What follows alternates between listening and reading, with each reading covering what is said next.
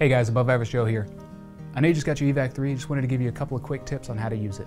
The EVAC 3 comes with a keychain. Make sure you keep it on your keys or at least in your car at all times so that when you need it, it's there and ready to go. The first thing you need to do is if your seatbelt becomes stuck, you want to make sure that you're able to get to your seatbelt cutter. There's a simple little black guard here. Pull it off, comes right off. Once you pull the guard off, simply grab your seatbelt, put the EVAC 3 on it at about a 45 degree angle, and just slice up. It should cut right through it. The EVAC 3 also comes with an incredibly loud howler whistle. Goes up to about 120 decibels. The main feature of the EVAC 3 is the hardened steel spring-loaded tip that's hidden right here inside this black cap. It's incredibly easy to use, takes about 12 pounds of pressure.